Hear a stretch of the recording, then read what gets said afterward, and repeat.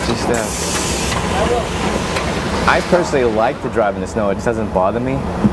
And these buses, these this particular model bus is pretty good in the snow, but the other models are pretty bad. The, the roads get narrower. There's a lot more problems with parking. Um, snow removal is a problem. You might want to use a front. It's a river up here. Like here, I could get to the curb, but I might have a problem getting out. And then people don't want to move, so. They usually tell us if there's no cars parked to hug the curb and you can just bounce off of it and keep going straight.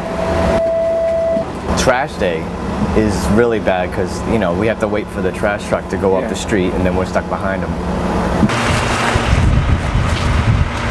You gotta, you gotta take your time. You gotta take your time. It's, you know, gotta be very careful.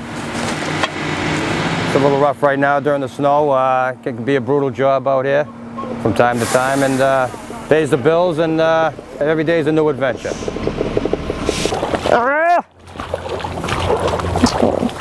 Getting around is really tough.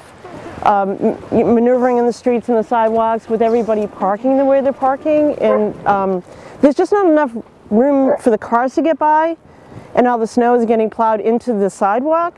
So now we can't just walk down the, the sidewalk. We have to walk in the street. We have to go back and walk into the sidewalk and go over mounds of snow. So it's kind of it's a little treacherous, and you don't want to fall doing all that and there's a ton of water, so it's like swimming now.